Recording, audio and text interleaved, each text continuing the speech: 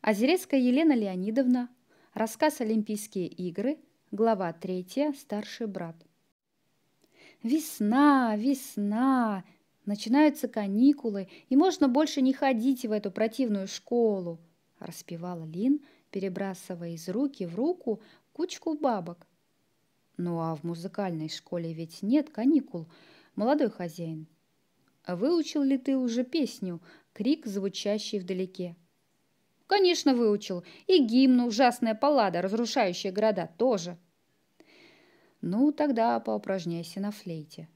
Лин не возражал. Учиться музыке ему нравилось. Приложив флейту губам, Лин заиграл грустную песенку, тихонько отбивая такт ногой. «Недурно», — улыбнулся вошедший Арифрон. «Только не слишком ли ты много времени тратишь на это занятие?» «Но отец мой», почтительно ответил мальчик. Еще великий Салон говорил, что дети должны учиться музыке. Верно. Но еще важнее он считал гимнастику, а я что-то не замечаю, чтобы ты был слишком усерден в палестре. Лин потупился. В палестре ему было неинтересно. Особенно не любил он борьбу, потому что ему не нравилось валяться в грязи чтобы сделать тело более скользким или намазавшись оливковым маслом, кататься в пыли с противником, как требовал учитель педатрип.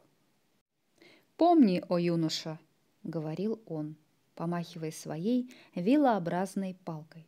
«Пыль, приставая к маслу, облегчает захват противника. И, стало быть, старайся как можно сильнее выкатать его в пыли». И мальчишки выкатывались так, что даже Стригилом, специальным скребком для очищения кожи от грязи не всегда удавалось оттереться дочисто. От тяжелого каменного или бронзового диска болели мышцы, ведь самый маленький из них весил почти полтора килограмма. Метать деревянную палку, заменяющую в палестре копье, тоже было не очень-то просто. Бросок делали при помощи аментума, кожаного ремня – которые прикрепляли к древу так, чтобы оставить петлю для пальцев. Педатрип требовал от мальчиков умения метать копье не только правой рукой, но и левой, а иногда заставлял их метать сразу два копья, обеими руками одновременно.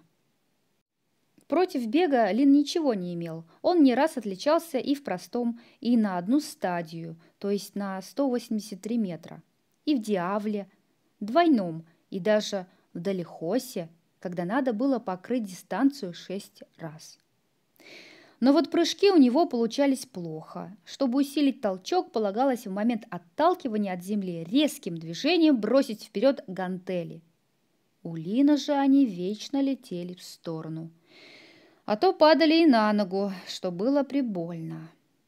А педотрип тут же добавлял и своей палкой. Нет, не любил Лин Палестры. «Что же ты молчишь?» – строго продолжал Арифрон. «Я, я хожу в Палестру», – прошептал Лин.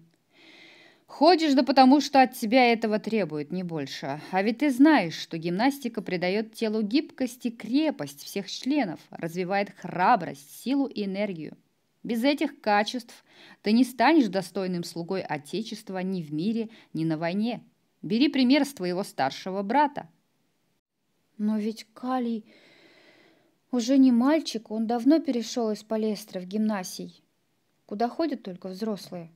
А знаешь ли ты, что он стал известным атлетом и поедет защищать честь Афин на Олимпийских играх? Да неужто? Просиял Лин. Вот молодец-то! Лин очень любил брата. Высокий, красивый и веселый Калий был для мальчика идеалом. Он никогда не прогонял от себя младшего братишку и рассказывал ему множество интересных историй. «А вот ты и я!» – раздался веселый голос. В комнату быстро вошел Калий и почтительно поздоровался с отцом. «Значит, решено?» – спросил Арифрон. «Да, отец, завтра еду, чтобы там тренироваться. Надеюсь, боги помогут мне не уронить честь Отечества». «Я уверен в тебе. К сожалению, брат на тебя не похож. Ступай к Гефесту, Лин, и помни, что я тебе говорил». Опустив голову, с трудом удерживая слезы, Лин вышел. «Разреши мне сказать, отец!» – начал Калий. «Не заступайся за своего любимца!» – сердито прервал Арифрон. «Где это видано, чтобы афинский мальчик был так равнодушен к спорту?» «Я как раз об этом и хотел сказать», – продолжал Калий.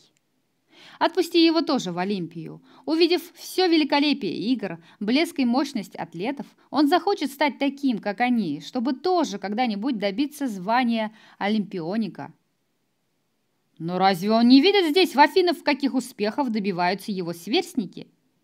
Разве он не знает, каким прекрасным спортсменом стал его собственный брат? Это не то, отец. Вся обстановка Олимпийских игр, красота всего, что с ними связано, наконец, бурный восторг тысяч молодых и старых зрителей обязательно увлекут и его. «Ну что ж», — помолчав, сказал Арифрон. «Может быть, ты прав. Пусть увидит сам, чего достигает человек, если он этого захочет. Только ведь ты не сможешь наблюдать за ним». «Нет, конечно», — Пошли с ним несколько слуг под начальством Гефеста. Купи хорошую большую палатку, и они прекрасно устроятся где-нибудь на берегу Алфея. Большинство приезжающих на игры живут именно так. Да и что может случиться с мальчиком? Ты ведь знаешь, что Гефест не отходит от него ни на минуту. Ты хорошо придумал, мой Калий, улыбнулся Арифрон. Будь по-твоему.